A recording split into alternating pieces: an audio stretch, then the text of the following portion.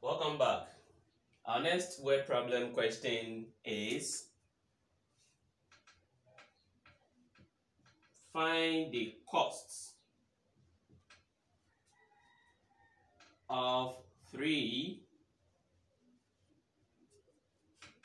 5 kg bags of rice. Three 5 kg bags of rice at 2 cedis per 1 kg bag of rice.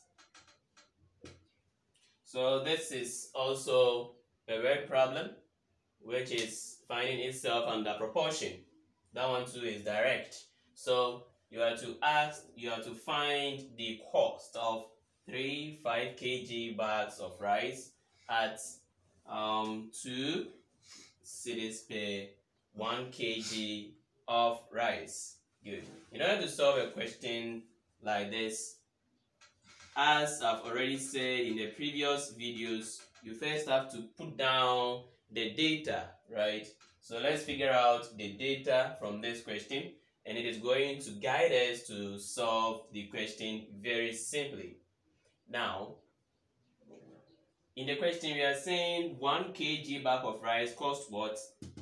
2 cedis. Okay, so 1 kg is equal to 2 cedis. And you are being asked to find the cost of 3 5 kg bags of rice. So let's first find the 5 kg bags of rice, its cost, after which we find 3 of the 5 kg bags of rice, the cost. Okay, so we have 5 kg. If 1 kg is 2 cedis, 5 kg will be what? Now, we have our you divide this 5 kg by this 1 kg and you multiply the results by 2 cedis since it is a direct proportion question okay now to for you to figure out whether it is a direct proportion question or indirect proportion question you have to think about the question that after solving everything should i get the results to be more than the given um, first results or the results should be less okay so by sense, you got to know that if 1 kg is having 2 cedis, 5 kg should have more, okay? Should have more amount than that of 1 kg. So it tells you that it is a direct proportion question. But if after solving it, you see that the result should be lesser than the 2 cedis, then mm -mm, it is an indirect. So this one is direct because you get to know that the change in this one will affect the change in this one this 1 kg has been increased to 5 kg. So by default, the amount of money we will get here should also be more than the amount of money that we have here. Is that clear?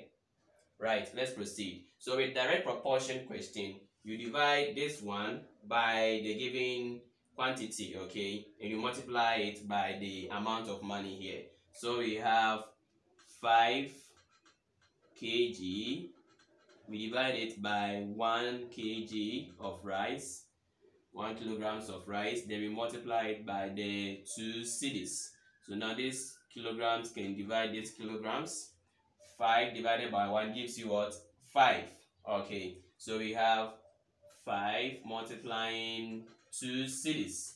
and that one gives us what 10 cedis.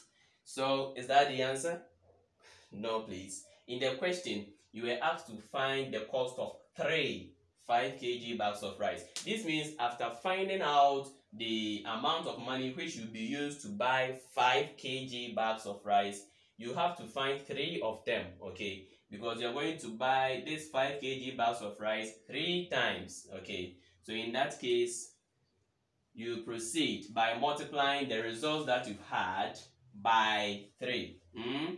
So 3 5 kg bags of rice that one will be what 3 multiplied by the amount of money that we will use to buy 5 kg bags of rice and that one is what 30 cedis. Okay, so since this is a word problem question, after you are done, you have to conclude. Okay, so you conclude it as 3 5 kg bags of rice costs 30 cedis